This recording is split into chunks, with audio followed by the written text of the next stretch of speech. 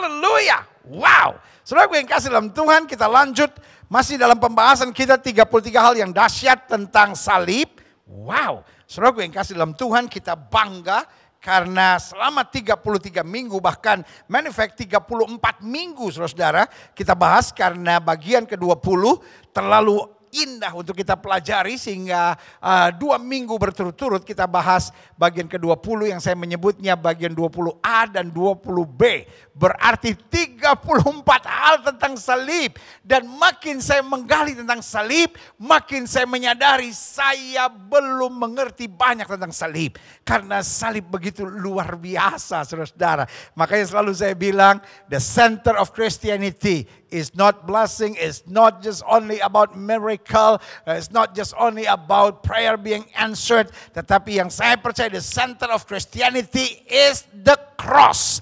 Pusat kekristenan kita adalah salib. Saudara yang kasih dalam Tuhan, gereja yang tidak lagi mengkhotbahkan tentang salib, saya beri nama dia bukan gereja tetapi hanya perkumpulan. Karena gereja dia membahas tentang salib, gereja dia membahas tentang Injil, gereja dia membahas tentang darah yang tertumpah, gereja membahas tentang dosa yang diampuni, gereja membahas tentang hidup yang dipulihkan dan gereja membahas tentang orang percaya yang diubahkan menjadi segambar serupa dengan Kristus, menjadi warga kerajaan sorga yang hidup dalam kemuliaan Tuhan. Yang setuju katakan amin. Yeah. Saudara yang kasih dalam Tuhan, hari ini kita masuk pada bagian yang ke-25. Dan hari ini kita masuk pada pembahasan salib adalah kerendahan hati dan kesiapan menjadi hamba. Kalau saudara tanya sama saya, apa maksudnya? Kalau saya memandang salib, maka salah satu yang saya lihat di balik salib itu adalah kerendahan hati. Dan kesiapan menjadi hamba karena Yesus Kristus sendiri yang adalah Tuhan di atas segala Tuhan, yang adalah Raja di atas segala Raja, yang mempunyai segala kuasa di langit dan di bumi, tetapi mau turun menjadi manusia, bahkan sampai mau mati di atas kayu salib, menjadi hamba. Demi apa? Demi keselamatan kita. Demi apa? Supaya kita dapat diangkat sebagai anak raja. Demi apa? Supaya kita dapat hidup dalam kemuliaan. Kemuliaan yang sudah diberikan kepada Adam. Untuk menguasai Taman Eden. Tetapi kemudian disalahgunakan. Sehingga manusia dilempar. Tetapi Allah adalah Tuhan yang tidak membiarkan kita binasa. Apa yang dia buat, dia turun sendiri. Betul dia turun di Bethlehem. Tapi bagaimana dia menyempurnakan seluruh pelayanannya untuk dapat menyelamatkan manusia dengan mati dan kayu salib. Berarti dari Bethlehem sampai Golgota yang kita pelajari adalah satu. Kerendahan hati. Dan kesiapan menjadi hamba. Puncaknya. Di atas salib.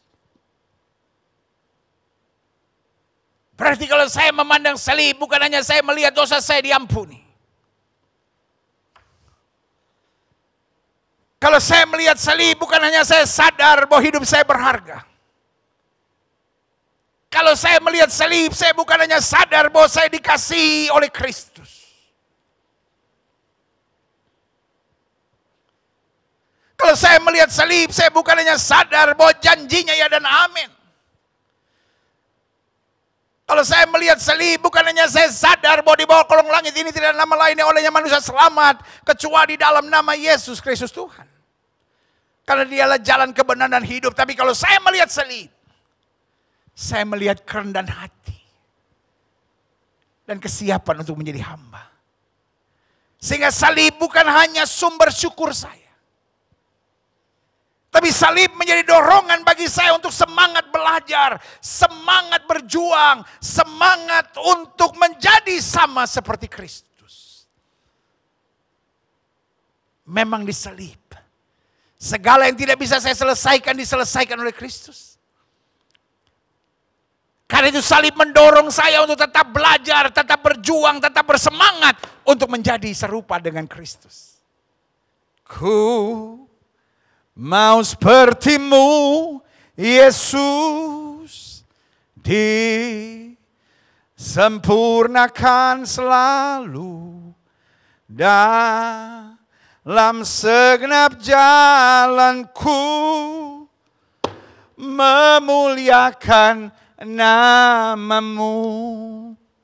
Kita tidak bisa menjadi serupa dengan Kristus kalau kita tidak mau rendah hati.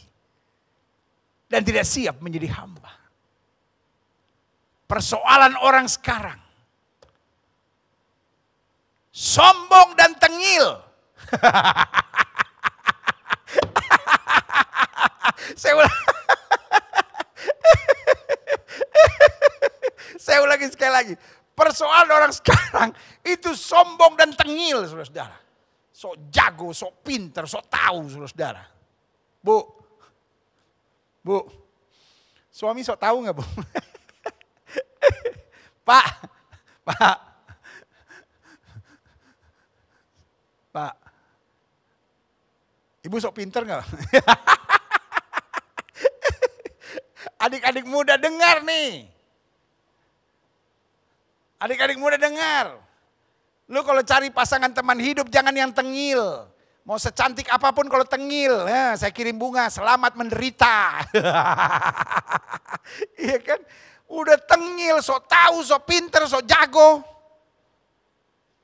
Iya, itu cara setan di akhir zaman. Menciptakan orang-orang sombong. Menciptakan orang-orang tengil. Kan dia merasa sombong, dia merasa nggak butuh orang lain. Karena dia merasa sombong, dia merasa nggak butuh Tuhan. Dia nggak berusaha, eh, dia merasa nggak butuh beribadah. Dia merasa nggak butuh bertobat. Dia nggak merasa untuk eh, butuh baca Alkitab. Karena itu kunci kehidupan yang dahsyat. Kita belajar ada pada salib. Yaitu kerendahan hati. Dan kesiapan menjadi hamba. Saya bangga dapat melayani bersama dengan jemaat sekalian. Di masa pandemi ini, waktu Tuhan taruh di hati saya untuk membahas 33 hal dahsyat tentang salib, saya belum tahu bahwa ini akan terjadi pandemi. Tapi saudaraku yang kasih dalam Tuhan, saya tidak bisa menemukan tema lain yang lebih cocok di tengah pandemi daripada memberitakan tentang salib. Because the cross is the answer. Salib adalah jawaban.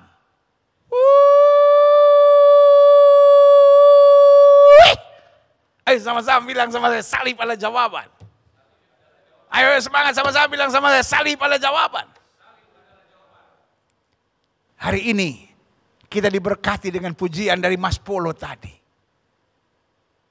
Untuk masalahnya jatuh bangun ada salib.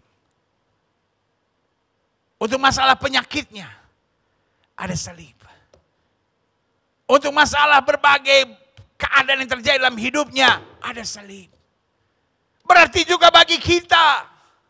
Kalau kita mau lihat manusia, manusia yang kadang kala pernah kita tolong juga bisa ngomongin kita.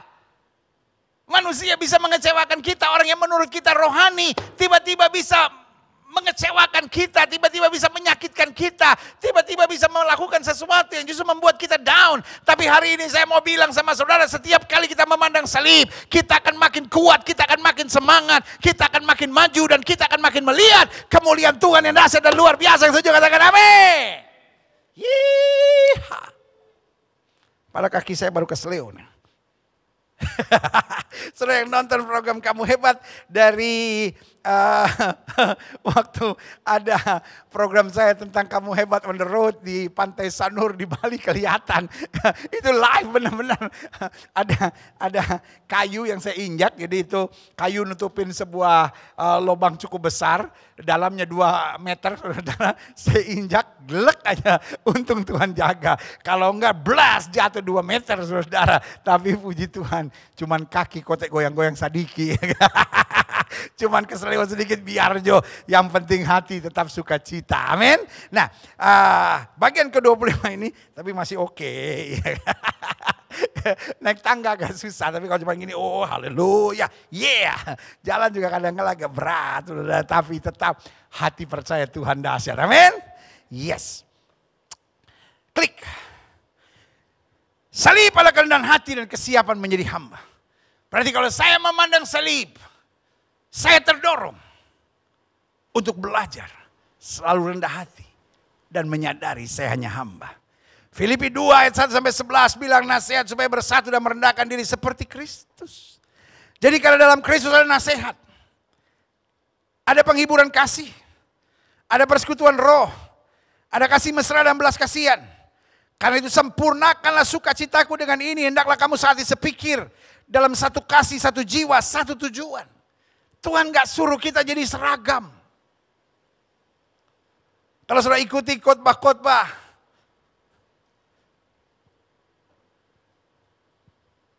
melalui media hari-hari ini. Modelnya lain-lain. Ada yang khotbahnya begini, ada yang pengajarnya begini.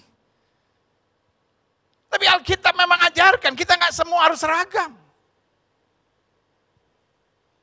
Tapi harus satu kasih. Harus ada kasih mesra.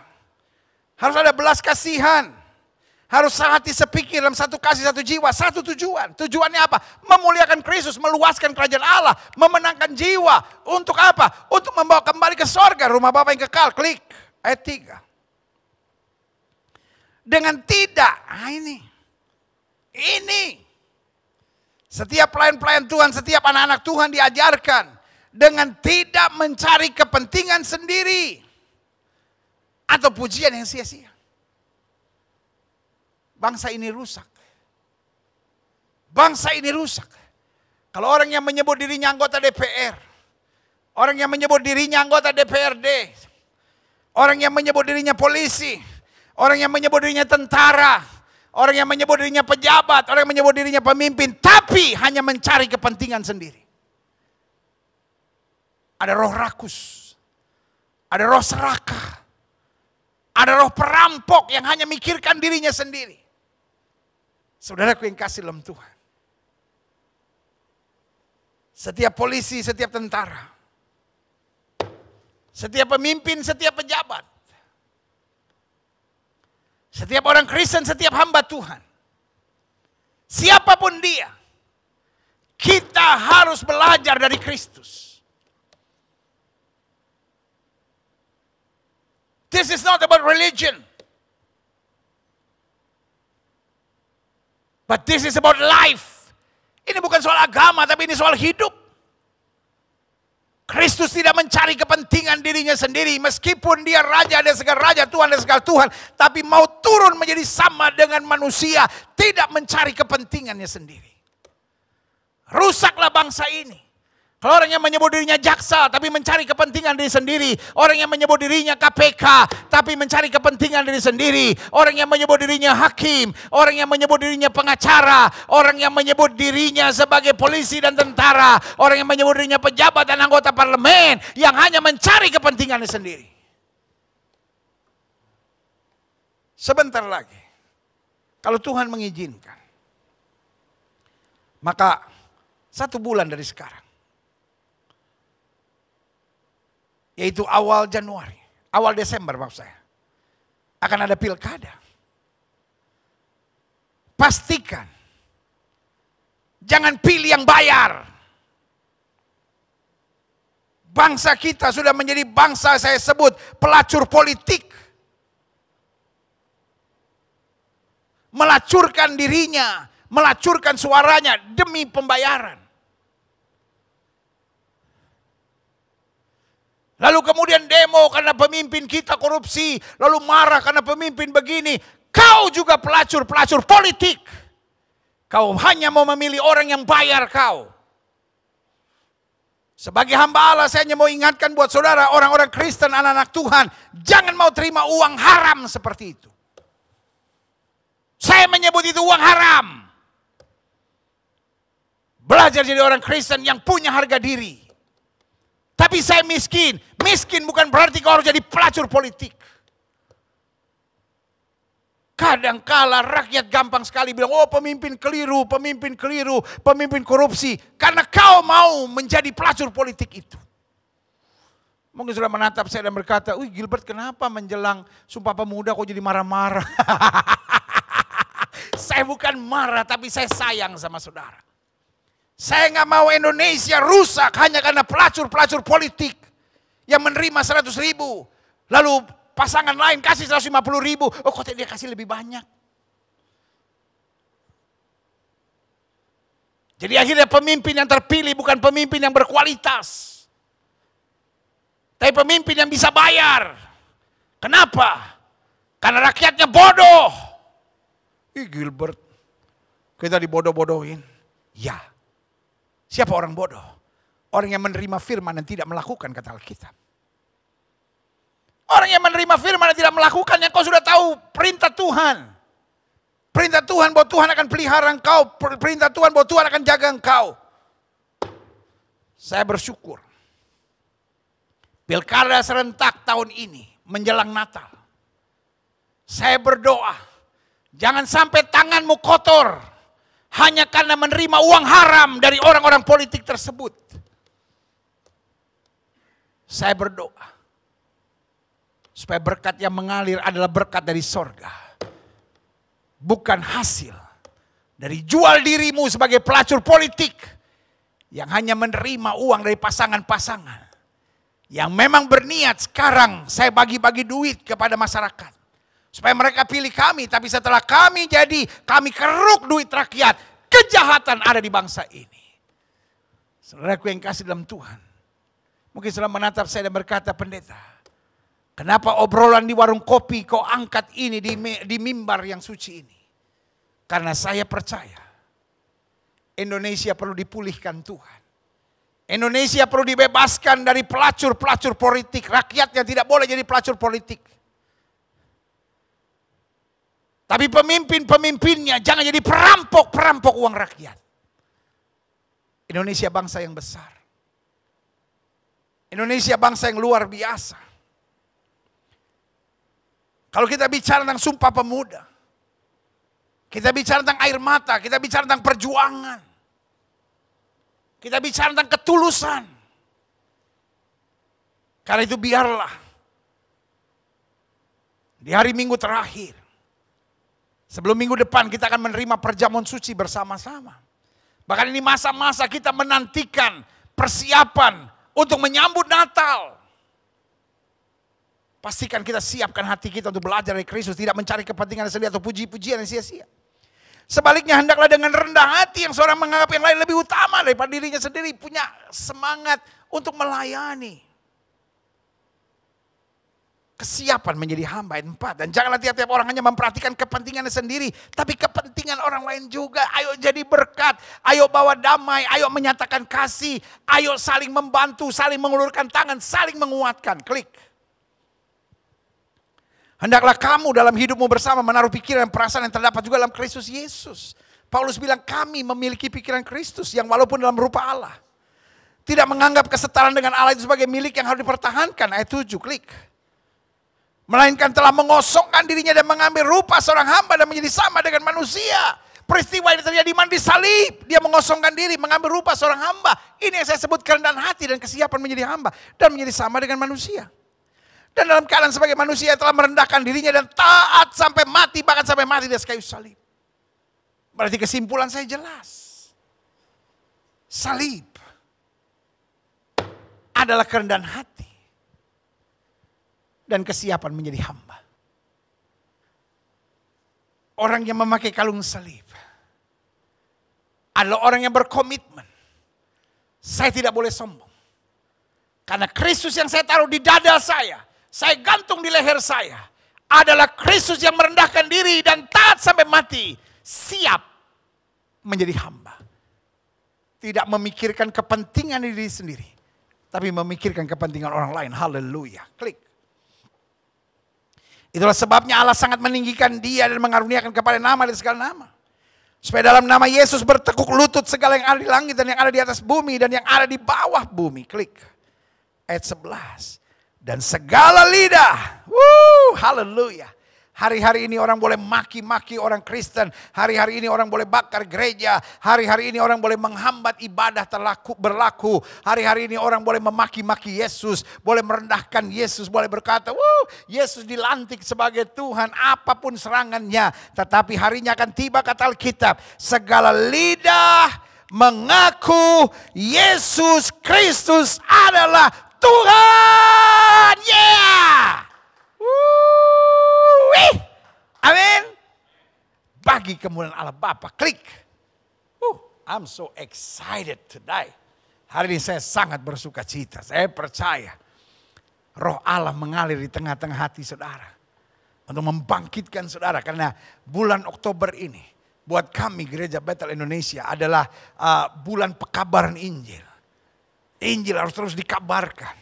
Dan setiap orang harus diberi semangat untuk mengabarkan Injil, memberitakan bahwa di bawah kolong langit ini tidak ada nama lain oleh manusia selamat kecuali dalam nama Yesus. Menuntaskan amanat agung, pergi. Beritakan Injil kepada setiap makhluk kata Alkitab. Haleluya. Nah, saya catat di sini.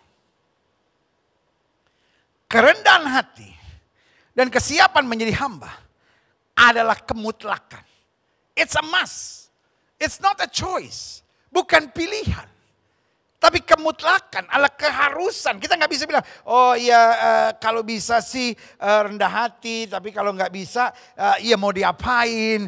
Kerendahan hati bukan bagian dari karunia, kerendahan hati adalah bagian dari perintah. Amin.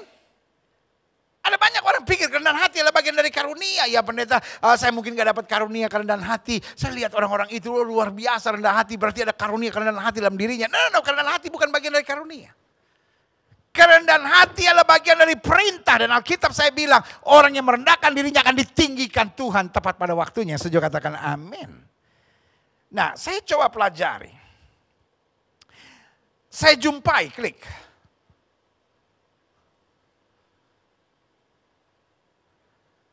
Ada empat alasan mengapa kerendahan hati dan kesiapan menjadi hamba adalah kemutlakan, adalah keharusan dalam iman Kristen kita. Yang pertama, karena kerendahan hati serta kesiapan menjadi hamba, adalah bukti kita mencintai Kristus serta menghargai anugerahnya. Jadi kalau kita mencintai Kristus dan menghargai anugerahnya, kita bukan cuma sekedar ibadah. Kalau kita ibadah tapi tetap sombong, kita ibadah tetap maki orang, kita ibadah tapi tetap mengandalkan kekuatan sendiri, Alkitab bilang terkutuklah orang yang mengandalkan kekuatannya sendiri.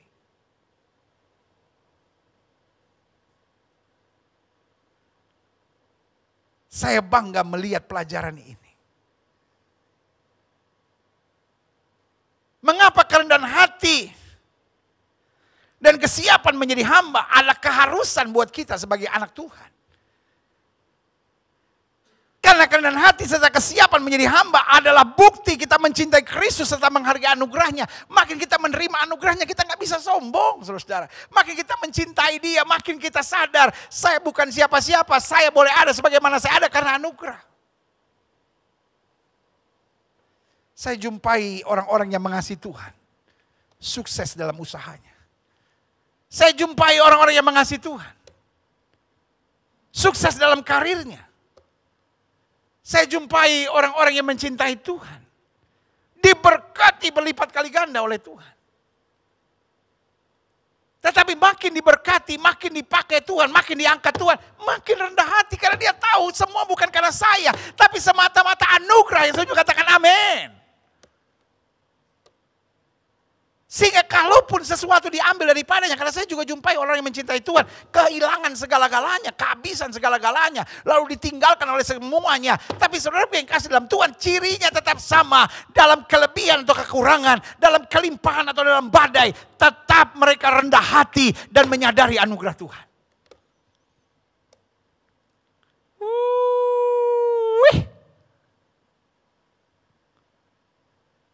Selama kita mencintai Tuhan dan menghargai anugerahnya. Kita akan jadi orang-orang yang merendahkan diri. Kita jadi orang-orang yang hidup rendah hati. Dan pada saat yang bersamaan, siap jadi hamba. Siap jadi hamba artinya di mana pun saya ada saya mau bawa damai. Siap jadi hamba artinya di mana pun saya ada saya harus mengabarkan Injil. Siap jadi hamba artinya di mana pun saya ada saya harus membawa kasih Tuhan. Di mana pun saya ada saya harus memberi pengharapan. Di mana pun saya ada saya harus membawa sukacita kemuliaan Tuhan. Di mana pun saya ada. Saya boleh senantiasa menunjukkan ciri Kristus. Walaupun saya disakiti, saya tidak membalas. Walaupun saya tidak dicu, walaupun saya dicurangi, saya tidak memaksakan kehendak saya karena saya hanya bersar, bersar, bersandar pada anugerahnya kasih karunia dan rahmatnya yang sempurna. Ada banyak orang yang bilang, bego banget sih lu. Masa lu cuma sabar, sabar, sabar, sabar. Orang rendah hati, bukan orang bego. Orang rendah hati dia nantikan pertolongan Tuhan dan tepat pada waktunya. Tuhan yang bertindak, yang setuju katakan amin. Mengapa? Karena hati serta kesiapan menjadi hamba adalah kemutlakan. Karena yang pertama itu bukti kita mencintai Kristus serta menghargai anugerahnya. Orang-orang sombong. Orang-orang tinggi hati, orang-orang angkuh, orang-orang kepala batu, orang-orang egois, saya beri nama. Dia tidak mencintai Kristus. Dia tidak menghargai anugerahnya. Engkau boleh saja pergi ke gereja, orang engkau boleh saja menyebut dirimu hamba Tuhan. Tapi kalau kau sombong artinya engkau tidak mencintai Kristus. Kau hanya mencintai dirimu sendiri. Dan tidak menghargai anugerah. Engkau pikir semua karena kekuatan dan kemampuan dan kehebatan. Yang kedua saya pelajari. Mengapa kerendahan hati serta kesiapan menjadi hamba adalah kemutlakan. Karena kerendahan hati serta kesiapan menjadi hamba adalah respons otomatis kita ketika kita sadar siapa diri kita. Daud berkata dia ingat kita hanya debu. Alkitab berkata manusia hanya bunga rumput. Daud berkata dengan apa aku balas kepada Tuhan segala kebaikannya. Kalau kita sadar siapa diri kita. Kita nggak mungkin bisa sombong. Kita akan rendah hati. Kenapa? Karena kalau kita bisa ada. Paulus bilang apa? Aku ada sebagaimana aku ada karena anugerah. Berkali-kali kita menghadapi badai, tapi yang tolong kita Tuhan. Berkali-kali kita nyakitin Tuhan. Berkali-kali kita mengecewakan Tuhan. Yang peluk kita, yang selamatkan kita tetap Tuhan. Bahkan waktu semua orang meninggalkan kita. Waktu semua orang memaki kita, waktu semua orang mendiskreditkan kita. Siapa yang peluk kita? Siapa yang bisa tetap kita percayai? Meskipun berkali-kali kita mengecewakan Tuhan, berkali-kali kita bersalah di hadapan Tuhan, tapi Tuhan juga yang tolong kita.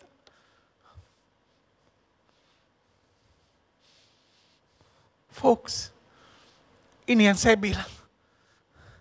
Kalau kita sadar siapa diri kita, kita akan menjadi orang-orang yang selalu rendah hati dan berkata, Tuhan, I'm just your servant. Ayub boleh jadi orang yang paling kaya di timur. Tapi waktu dia kehilangan segala-galanya, dia tidak komplain with God. Dia tidak menuntut haknya, dia tidak bertanya, kenapa Tuhan, kenapa semuanya diambil. Ayub orang yang paling kaya di timur, tapi waktu dia kehilangan segala-galanya, cuman ini yang dia bilang sama Tuhan. Dengan telanjang aku datang. Dengan telanjang aku akan kembali. Tuhan yang memberi. Tuhan yang mengambil. Terpujilah nama Tuhan.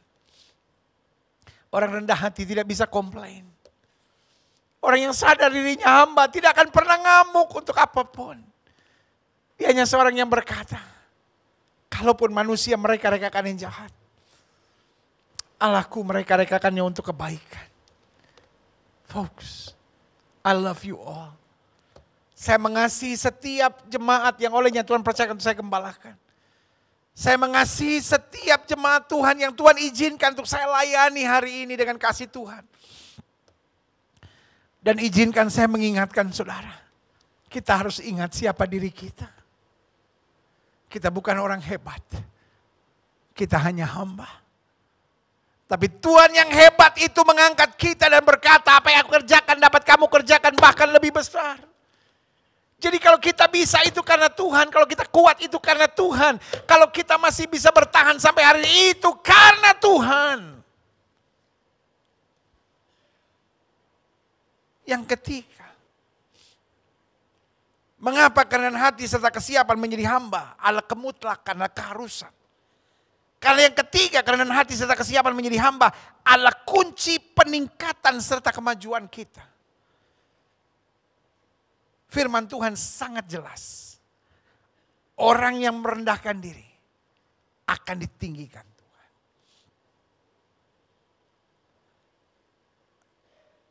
Orang yang merendahkan diri bisa dihina. Orang yang merendahkan diri bisa dicurangi. Orang yang merendahkan diri bahkan bisa dijahati, bisa ditusuk dari belakang. Tapi orang yang merendahkan diri tidak mungkin akan selama-lamanya jatuh. Ada waktunya Tuhan angkat dan Tuhan bela. Folks, saya hargai kalau engkau punya jabatan tinggi. Saya hargai kalau engkau seorang jenderal. Saya hargai kalau engkau seorang hakim. Saya hargai kalau engkau seorang dirjen. Saya hargai kalau engkau seorang pejabat. Saya hargai engkau kalau usahamu hebat, luar biasa dan kau disebut di mana-mana sebagai orang kaya. Ke mana pun kau pergi, orang memanggilmu bos atau toke. Tapi dengar baik.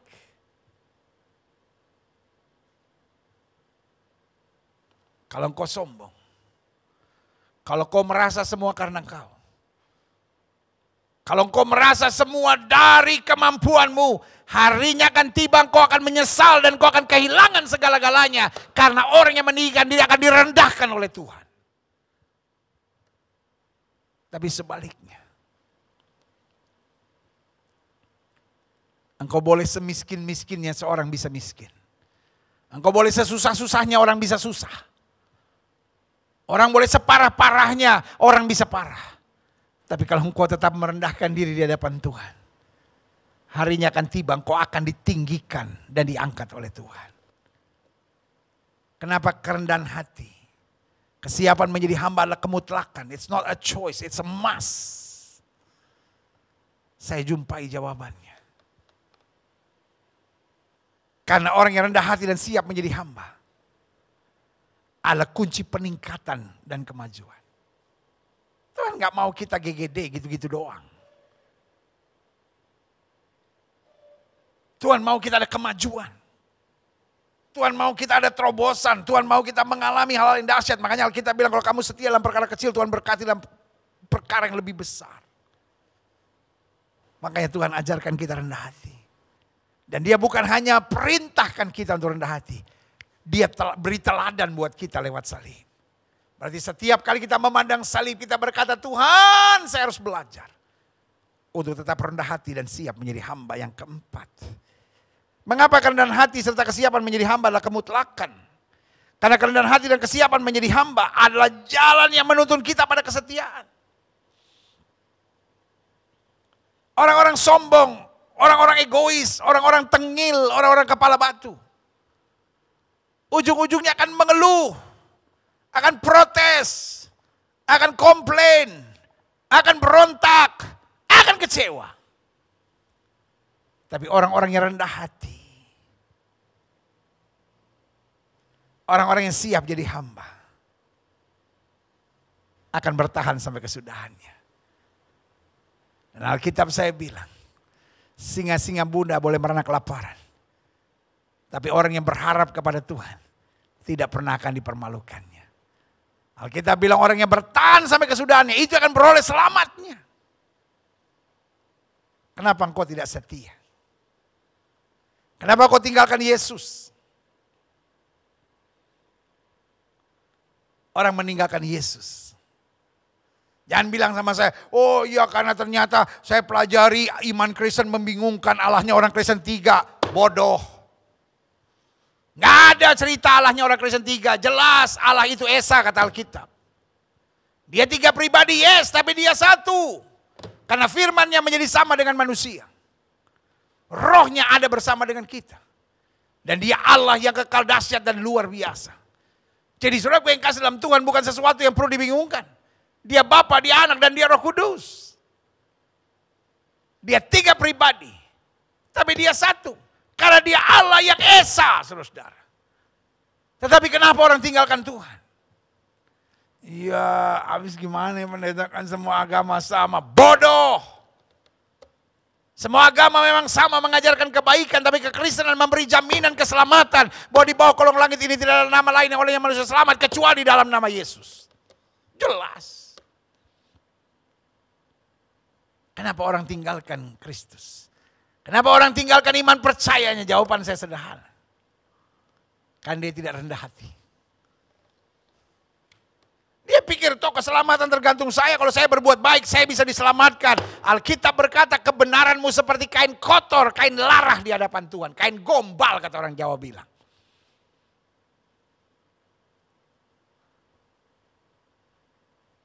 Kenapa kita bisa setia sama Yesus? Bukan karena kita tidak dihina, bukan karena kita tidak ditekan, bukan karena kita tidak disakiti, bukan karena kita tidak dibully. Tapi kenapa kita tetap setia pada Kristus? Karena kita rendah hati dan siap menjadi hamba. Kita tahu bahwa saya tidak bisa diselamatkan oleh perbuatan baik, saya tidak bisa diselamatkan oleh amal dan ibadah, saya tidak bisa diselamatkan oleh perbuatan sosial dan kegiatan-kegiatan kebaikan saya, tapi saya hanya bisa diselamatkan oleh anugerahnya lewat pengampunan dosa yang dikerjakannya di atas kayu salib. Yang setuju katakan amin. Orang yang rendah hati. Orang yang siap menjadi hamba. Di mana pun dia berada. Dia menaburkan kesetiaan. Yang setuju katakan amin. Selanjutnya. Saya pelajari. Mengapa banyak orang sulit rendah hati dan siap jadi hamba? Betul dia Kristen, betul dia bertobat, betul dia ke gereja, betul dia beragama. Tapi kenapa sulit untuk rendah hati? Dan siap menjadi hamba karena ada banyak orang bisa Kristen bertahun-tahun tapi tetap sombong, tetap tengil, saudara. Ada yang menatap saya dan bilang, ini pendeta tengil. Dosa lu. Eh, kalau pendeta marah sama jemaat itu karena sayang. Kalau jemaat marah sama pendeta, dosa tujuh turunan. Iya dong. Iya kan? Masa masa pendeta cuma mau nyeneng-nyenengin jemaat dari mana itu? Masa pendeta cuma mau buat jemaat senang, ya kan nggak boleh. Ada kalanya saya berbicara hal-hal yang memberi semangat buat saudara. Ada kalanya saya bicara hal yang tegas dan keras buat siap saudara karena saya cinta sama saudara. Amin. Tapi izinkan saya mengingatkan buat saudara. Orang bertahun-tahun jadi Kristen, bertobat, lahir baru, melayani. Tapi sulit sekali untuk rendah hati dan memiliki kesiapan hamba. Hati yang melayani. Mengapa? Satu. Karena masih dikuasai iblis.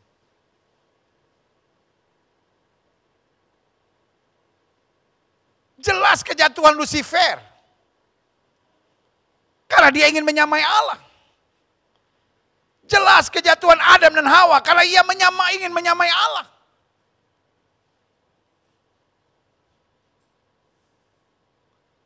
Dosa yang paling tua di muka bumi bernama kesombongan. Saudaraku yang kekasih dalam Tuhan.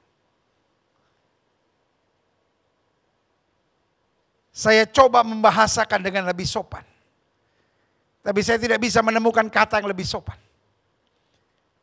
Orang-orang sombong. Orang-orang egois adalah orang-orang yang masih dikuasai oleh iblis. Saya tidak mau tahu berapa besarnya pelayanan saudara. Saya tidak mau tahu berapa lama saudara jadi Kristen. Saya tidak mau tahu berapa lagu rohani yang saudara hafal. Saya tidak mau tahu berapa banyak ayat Alkitab yang saudara ketahui. Tetapi ini yang saya hanya ingat dalam firman Tuhan. Orang-orang sombong adalah orang-orang yang masih dikuasai dan dirasuk oleh iblis. Berarti saudaraku yang kasih dalam Tuhan. Orang sombong tidak punya tempat di sorga. Makanya Alkitab bilang terkutuklah Orang yang mengandalkan kekuatannya sendiri. Bukan hanya pelacur harus bertobat, bukan hanya banci yang harus menerima Yesus dan bertobat, bukan hanya perampok, pembunuh, pemerkosa dan juga mereka yang menyembah berhala yang harus bertobat, tapi orang-orang sombong harus bertobat. Karena apa? Engkau dikuasai oleh iblis, saudara. Jangan marah. Orang dikasih tahu marah. Kalau hari ini sudah merasa, iya saya sombong cepat bertobat. Cepat bilang Tuhan ampuni aku. Aku gak mau dengan kalung salibku akhirnya aku dilemparkan ke neraka. Aku gak mau dengan jabatanku sebagai penatua akhirnya aku dilemparkan neraka karena kesombonganku ini. Yang kedua. Mengapa banyak orang sulit rendah hati dan siap jadi hamba? Karena belum sungguh-sungguh mengalami cinta Yesus yang sempurna. Dia hanya mungkin jadi orang Kristen. Karena lahir dari rahim ibu yang beragama Kristen. Mungkin dia hanya masuk gereja, mungkin dia hanya tahu lagu-lagu rohani, tapi belum mengalami cinta Tuhan. Yang sungguh pribadi dan sempurna. Karena orang yang mengalami cinta Tuhan yang pribadi dan sempurna pasti nggak bisa jadi sombong. Nggak bisa jadi sombong. Gak bisa jadi sombong. Ingat Petrus. Yang tadinya hanya senang menghakimi lihat orang yang buta. Siapa yang salah? Dia yang salah atau orang tuanya yang salah? Ya. Dia masih berdebat dengan murid-murid yang lain. Kira-kira siapa yang terbesar di dalam kerajaan surga?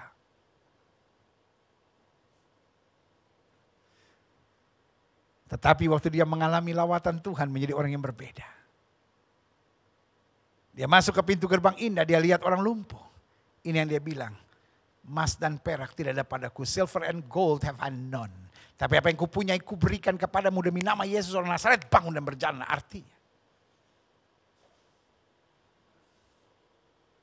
orang-orang yang angku dan orang-orang yang sombong. Ada orang-orang yang belum mengalami jamahan Tuhan dan kasih Kristus secara pribadi dan sempurna. Tapi waktu kita sudah mengalami jamahan dan kasih Kristus secara sempurna. Kita hanya bilang aku ada sebagaimana aku ada. Karena anugerah Tuhan. Kita tidak pernah menghitung jasa apa pun, kita tidak pernah menghitung kebanggaan kita, kita cuma bilang Tuhan terima kasih buat kekuatan, rahmat dan anugerahmu. Yang ketiga, mengapa banyak orang sulit rendah hati dan siap jadi dan tidak siap jadi hamba? Karena masih memiliki ego yang tinggi.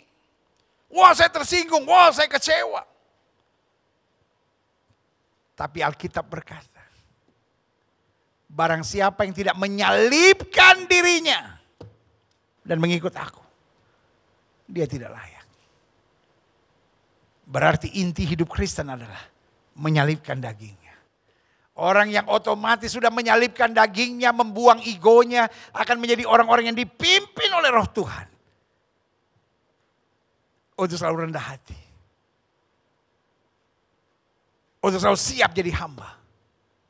Untuk selalu berkata, ini aku Tuhan utus aku, pakai aku, jadikan aku alat damaimu.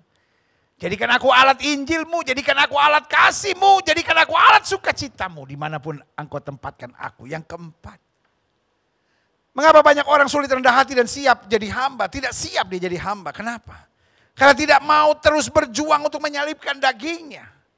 Dia bilang, ya saya sih kan manusia biasa, pendeta namanya manusia biasa. Ya kadang-kala masih emosi, kadang-kala manusia biasa ya masih muncul egonya. Betul, tapi kita harus terus berjuang. Yang setuju sama saya katakan, saya harus terus berjuang. Gagal bukan akhir dari perjuangan kita. He is what I call a second chance God. Dia Allah yang memberi kesempatan kedua, kesempatan ketiga. Dari kita yang sering kali sudah bersalah di hadapan Tuhan. Makanya kalau engkau bersalah, jangan tangisi kegagalanmu. Cekap, cepat bangkit. Cepat bangkit dan bilang, Tuhan ini aku. I'm your son. Oh Tuhan, akulah anakmu. Oh Tuhan, akulah anakmu.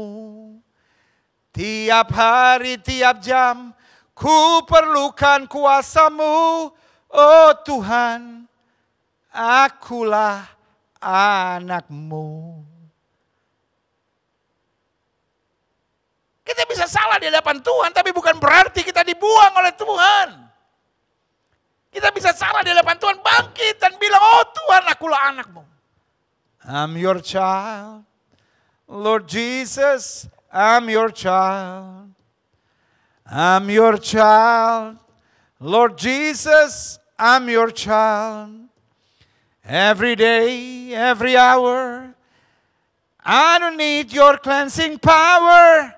I'm your child. Lord Jesus, I'm your child. Amin. Oh Tuhan, aku kan anakmu. Masa aku anakmu ada di sini? Masa aku anakmu terlibat narkoba? Masa aku anakmu terlibat dengan kejahatan ini? Masa aku anakmu di penjara sekarang karena korupsi? Masa aku anakmu lalu kau hidup sebagai istri orang? Aku hidup sebagai istri piaran orang. Aku hidup dengan perselingkuhan dalam nama Yesus. Aku mau bangkit. Jadi istri orang boleh, jadi istri piaran orang itu nggak boleh. Bangkit, saudara. Bangkit. I am your child. Oh my Jesus. Selanjutnya. Yang terakhir saya pelajari. Berarti salib adalah pelajaran penting tentang kerendahan hati dan kesiapan untuk menjadi hamba. Yang pertama, bahwa kerendahan hati adalah kesiapan untuk kehilangan hak. Waktu saya memandang salib, saya terdorong untuk hidup rendah hati dan siap menjadi hamba. Karena saya menyadari menjadi hamba berarti seorang yang siap kehilangan hak. Ingatkah saudara di Taman Getsemani waktu Petrus cabut pedang. Yesus bilang, Petrus, sarungkan pedang. Dia nggak bilang, Petrus, mantap. Jangan cuma kuping kote, di tengah, di tengah, di tengah biar terbelah.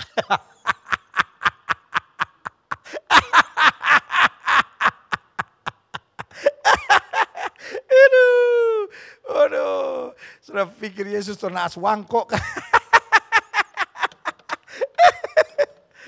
no.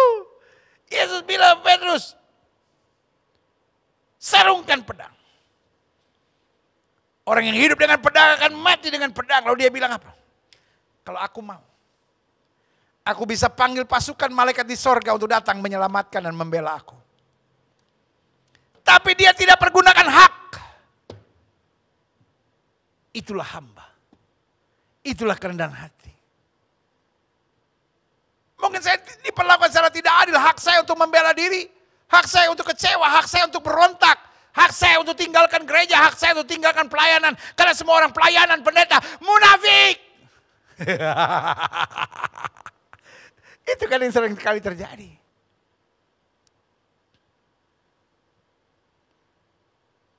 Hari ini kita mau bilang sama Tuhan. Aku rela kehilangan hakku. Karena ya saya mengingatkan hakku terjamin pada Allah. Pokoknya yang penting saya berserah. Yang penting saya kuat dalam iman. Yang penting saya bertahan dalam pengharapan. Yang penting saya tidak milik ke kiri maupun milik ke kanan. Maka Tuhan akan mengangkat saya dan melakukan perkara besar. Yang setuju berikan tepuk tangan yang meriah. Haleluya. Yang kedua. Salib pada pelajaran penting tentang kerendahan hati dan kesiapan menjadi hamba. Bahwa kerendahan hati dan kesiapan menjadi hamba adalah kerelaan untuk menjalani penderitaan tetap dengan mental positif.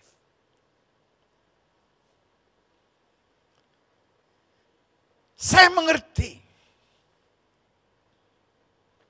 Ada orang-orang yang menentang pengajaran tentang Injil kemakmuran. Karena hari-hari ini saya bingung ada orang yang menyebut ini Injil kemakmuran lah, Injil penderitaan lah, Injil kerajaan lah, Injil apa. Yang saya tahu dalam Alkitab cuma satu, Injil kerajaan. Karena Alkitab berkata Injil kerajaan itu akan diberitakan sampai pada kesudahannya, baru tiba kesudahannya. Kalau orang bilang hidup diberkati, oh Injil kemakmuran. Kalau orang bilang, oh hidup uh, ada salib, oh Injil penderitaan. Saudara kasih dalam Tuhan, ngapain sih bikin nama-nama aneh-aneh itu? Injil kita hanya satu, Injil kerajaan, Injil Tuhan kita Yesus Kristus yang setuju katakan amin.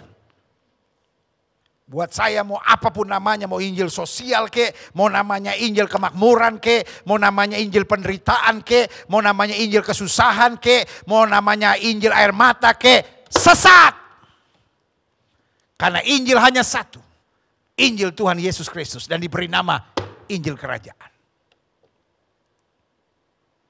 Makanya ada banyak orang yang mengabarkan, oh ikut Kristus itu penuh penderitaan. I know. Tapi meskipun kita menderita, kita tak bisa bersuka cita dan bersorak-sorai. Itu baru namanya kerendahan hati. Orang sombong kalau melalui penderitaan nangis, kecewa, menderita, tertekan, sengsara. Tapi orang-orang yang rendah hati dan menyadari dirinya hanya hamba. Melalui penderitaan bagaimanapun. Dia berkata seperti Ayub. Aku tahu engkau sanggup melakukan segala sesuatu dan tidak ada rencanamu yang gagal. Segala kemuliaan buat Tuhan. Haleluya. Yang ketiga. Salib adalah pelajaran penting tentang kerendahan hati dan kesiapan menjadi hamba. Bahwa kerendahan hati dan kesiapan menjadi hamba adalah kesiapan untuk kehilangan hak. Yang kedua, bahwa kerendahan hati dan kesiapan menjadi hamba adalah kerelaan untuk menjalani penderitaan tetap dengan mental yang positif.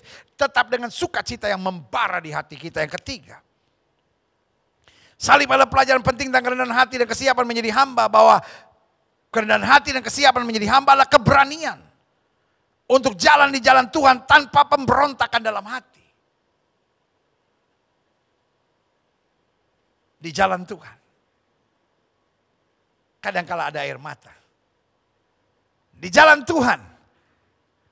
Kadangkala ada yang bernama pengkhianatan. Hello. Saudara-saudara yang melayani pernah dikhianati enggak? Pak, pernah dikhianati enggak? Bu, pernah dikhianati enggak?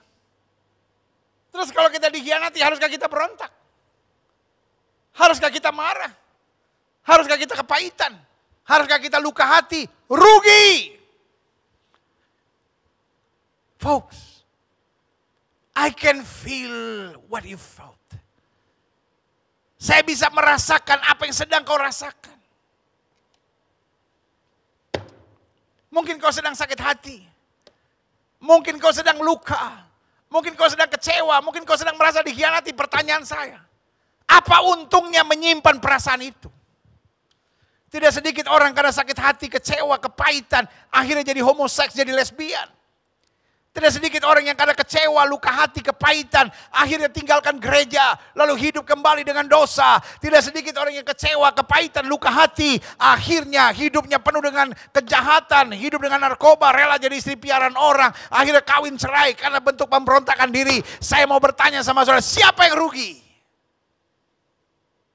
Bukan orang yang menyakiti engkau, bukan orang yang mengkhianati engkau yang rugi, engkau sendiri yang rugi.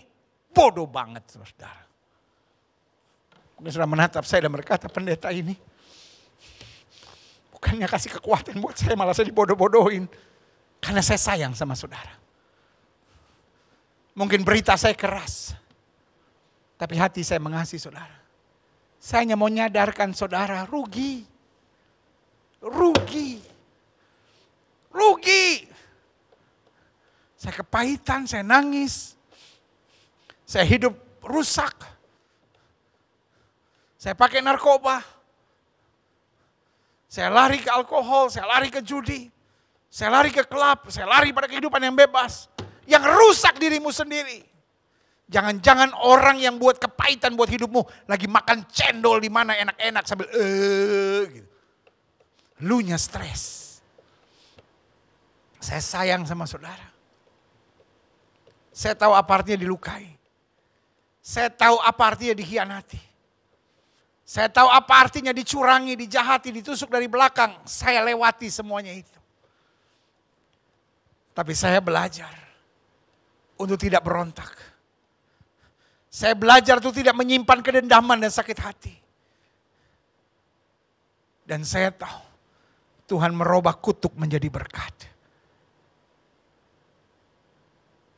Saya jalani jalan yang cukup berat. Karena saya bisa memahami kalau saudara-saudara mengalami itu. Tapi saya hanya memberitahu. Tangan Yesus sedang terbuka bagimu dan berkata, mari kamu yang letih lesu dan berbeban berat. Aku beri kelegaan kepadamu. Hanya orang sombong yang akan berontak. Hanya orang sombong yang akan menyimpan kepahitan. Hanya orang sombong yang hidup dengan kedendaman berlarut-larut. Tapi orang rendah hati akan berkata, Tuhan yang memberi, Tuhan yang mengambil. Terpujilah nama Tuhan. Dia akan berkata, Allahku, turut bekerja dalam segala perkara untuk kebaikan. Artinya kalau Tuhan izinkan segala yang menyakitkan ini berlaku dalam hidupku. Tuhan yang sama yang merubah ratapanku menjadi tari-tarian. Haleluya. Yang keempat, yang terakhir saya undang pemain musik maju ke depan. Salib adalah pelajaran penting dan kerendahan hati dan kesiapan menjadi hamba. Bahwa kerendahan hati adalah kekuatan untuk melihat segalanya dengan kacamata iman. Orang yang rendah hati tidak hidup dengan logika dan hitung-hitungan manusia. Tapi orang yang rendah hati akan melihat segalanya dengan iman. Kan Tuhan janji akan bela saya. Kan Tuhan janji akan pelihara saya. Kan Tuhan janji akan beri yang terbaik buat saya. Karena itu saudaraku yang kasih dalam Tuhan. Tidak ada satu kata keputusasaan apa pun dari Yesus di atas kayu salib. Dari situ kita belajar. Salib mengajar kepada kita. pelajaran penting tentang kerendahan hati dan kesiapan menjadi hamba. Hari ini kita menerima firman Tuhan. Doa saya. Kita bukan hanya lebih paham tentang artinya salib. Tapi lebih daripada itu. Kita semakin rendah hati. Dan berkata, ini aku Tuhan, utuslah aku. Aku mau mengabarkan Injil. Aku mau membawa damai. Aku mau menyatakan kasih. Aku mau meluaskan kerajaan Allah. Dan aku mau hidup. Semakin hari.